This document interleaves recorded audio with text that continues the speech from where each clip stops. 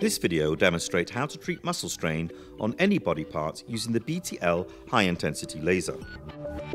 Using passive examination techniques to find the range of motion limitations. Then locate the damaged area of the muscle using manual palpation.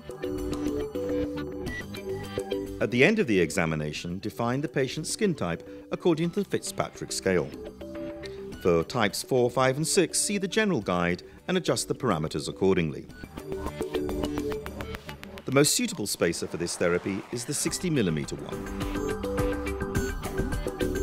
Select the muscle strain analgesia protocol from the encyclopedia and don't forget to adjust the size of the area to be treated. In this case, the area is 60 square centimeters.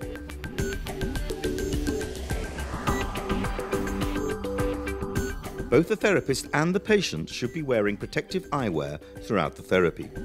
Start the analgesic phase of the therapy by moving the applicator in a spiral motion starting about 5 to 7 centimeters from the defined painful spot.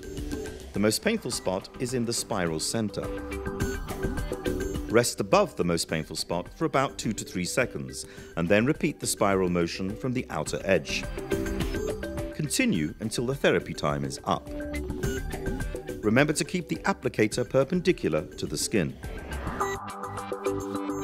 Continue with selecting the biostimulation protocol for muscle strain.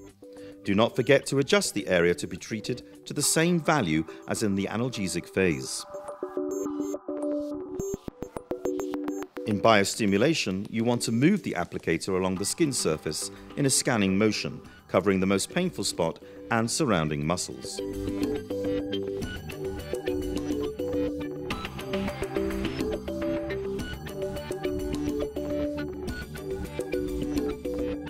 Keep the applicator moving and prevent static application. The therapy is thermic. Inquire about the levels of warmth throughout the therapy and possibly adjust the parameters.